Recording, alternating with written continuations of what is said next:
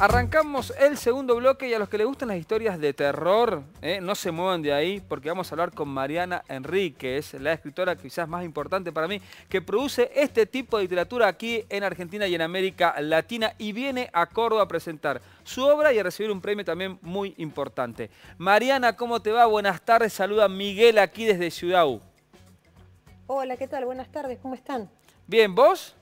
Bien, todo bien. Bueno, Mariana, venís a Córdoba a presentar No Traigan Flores. Me vas a contar un poquito cómo pensaste esta obra. Vas a recibir un premio, ¿sabías también de esto? Que está pensado allí en la Universidad Nacional de Córdoba. Sí, sí, sabía, sabía, sabía.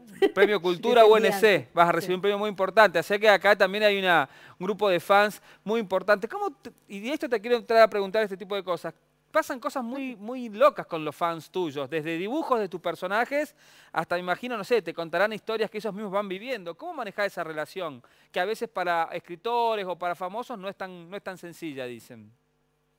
No sé, a mí no me parece difícil. No sé por qué a alguien le parecería difícil.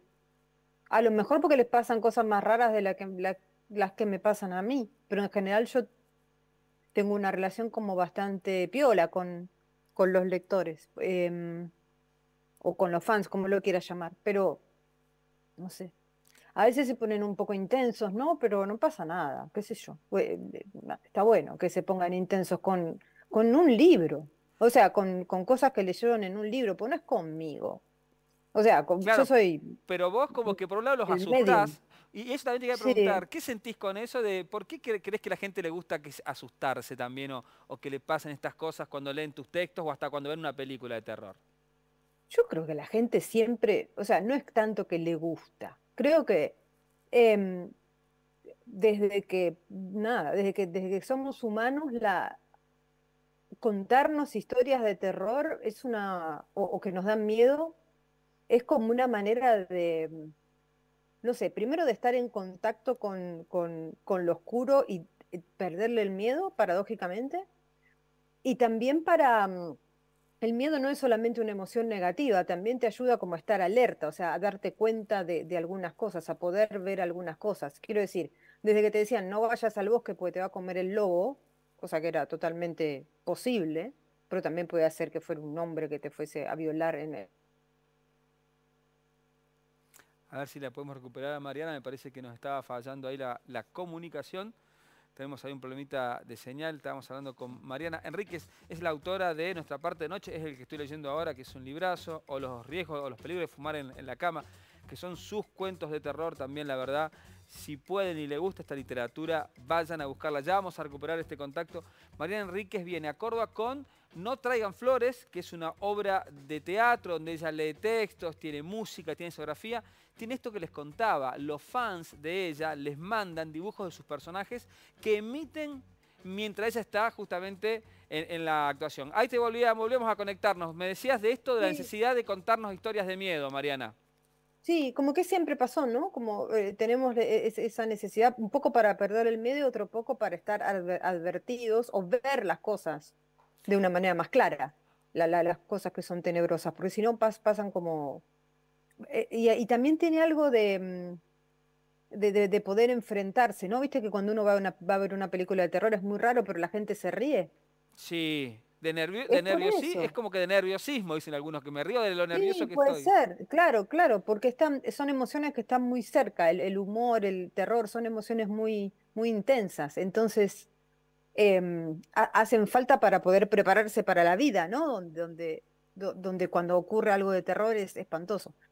No sé cómo sería vivir sin poder ensayar esas cosas, ¿no? Y, la adrenalina que te da el terror. Yo estoy leyendo nuestra parte de noche, eh, he leído algunos de tus cuentos y me interesa saber cómo trabajás algunas ideas de personajes porque leí por ahí que te vas a veces a algún cementerio, que los recorres, que, que estás.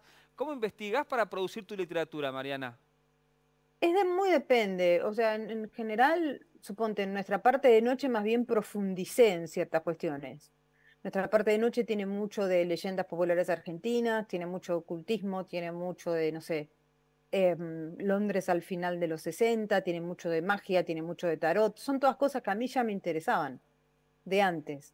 Entonces lo que hice fue profundizar las, las investigaciones, pero yo no me voy muy lejos de lo que ya me copa. o sea, de lo que ya me interesa, no, es muy, es muy raro que, que encare algo de lo que no sé absolutamente nada. Ahora estoy escribiendo una novela de fantasmas, por ejemplo, estoy leyendo todo lo que encuentro de mediums y fantasmas que hay, pero siempre me gustaron los fantasmas, siempre vi películas de fantasmas, ya sabía un montón de historias, quiero decir, para mí es una, una cuestión de, de profundización de, de, obsesiones que tenía anteriores para poder después llevarla a largo de una novela, por ejemplo. Mariana, y yo leyéndote también a veces me pongo a pensar, Mariana, vos en estas cosas que tienen que ver con lo paranormal, ¿crees o no tenés un registro de, de creer que puede haber otras cosas que están fuera de lo que podemos considerar el raciocinio o, o el entendimiento así más directo? Yo te digo sinceramente, sin total, totalmente sincera, yo no creo en, en, casi nada, en nada en realidad. Ah, Pero por una, por una cuestión totalmente empírica que tiene que ver con que nunca vi nada, nunca me pasó nada. Nunca me pasó nada que considere significativo tampoco. Si me pasó algo es una tontería que se puede explicar de un montón de otras maneras. Em, no soy una persona que sea como sensible a las malas ondas, ¿viste? ¿Qué sé yo? O sea, ¿viste? Hay gente que entra a una casa donde mataron gente y te dice, me sentí agobiada. Yo no me doy cuenta de nada. Yo estoy, ¿viste? Entro a un lugar, después me dicen acá hicieron una masacre, y yo digo, ah, mira qué loco. O sea, no, no, no, no, no, no tengo ningún tipo de. Quizá por eso me gusta tanto, ¿no? O sea, porque no.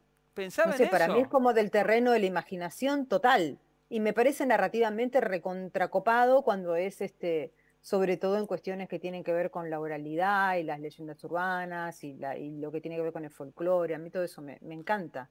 Pero no, no podría decir que, que lo creo. Me gustaría creerlo, pero no. Hablemos de nuestra, eh, no, no traigan flores, eh, este Ajá. espectáculo, porque va, ahí lees textos que tienen que ver con, con, tu producción literaria. ¿Cómo lo tenés organizado al espectáculo? Bueno, es un poco distinto al que hicimos en, distinto y, y muy parecido al que hicimos en, en Buenos Aires. ¿Por qué distinto digo? Porque no, yo no me quiero aburrir y no, no, quiero leer los mismos textos, hacer los mismos chistes, ah, bien, aunque entonces, algunos son como... ot, ot, otra, otra literatura vas a poner acá en, en este... En este... Vamos, hay, algo, hay algunos cambios con respecto al otro, quiero decir, de textos, bien. ¿no? O sea, de, de, o, algunos cuentos que son distintos. Eh, hay, hay, muchos textos periodísticos más personales que leo, que también algunos son los mismos, otros son distintos. Y después hay cosas que mantengo como leer eh, nuestra parte de noche, pero nada, voy, hay, como, como algunas diferencias. Lo que yo hago es leer y comentar los textos, o sea, yo te cuento como la cocina, lo que es cierto, lo que no es cierto, menciono ciertas cosas, dónde escribí esto, cómo escribí esto, por qué escribí aquello, en algunos, otros es más difícil hacer eso porque hay una cuestión de clima y de atmósfera, ¿no? Si estoy leyendo una parte de la novela, no voy a interrumpirme en el, miedo para, en el medio para comentarte cosas. Pero en un texto periodístico o, o, antes de los cuentos y qué sé yo, es más fácil. Entonces es como muy dinámico, es muy charlado.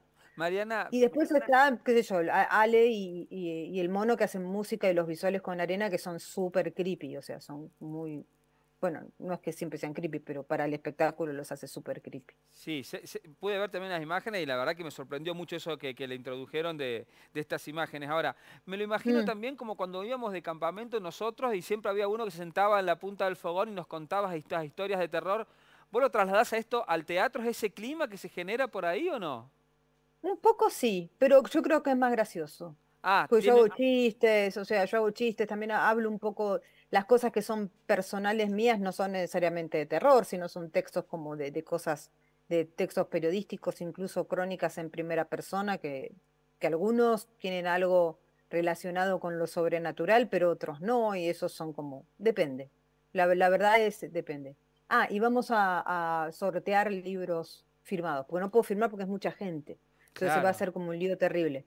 Pero eh, juntamos unos, unos cuantos libros, no demasiados, pero algo algo va a haber. Y pasamos fanart en la en los dibujos que hacen los fans y todo eso, lo pasamos en la en la pantalla de atrás también, como una manera de devolverle a la gente, ¿no? De tener otra relación con, con, con, lo literario y un poco también con lo que con lo que puede ofrecer un escritor, ¿no? Que no es solamente el librito, sino también contarte un poco cómo lo hiciste. Yo no tengo mucho problema en hacer eso. Hay, escritores que no les gusta porque es como su cocina, sus secretos. Eh, yo no tengo ni medio rollo con eso. Me parece que aunque me quieras copiar no te va a salir.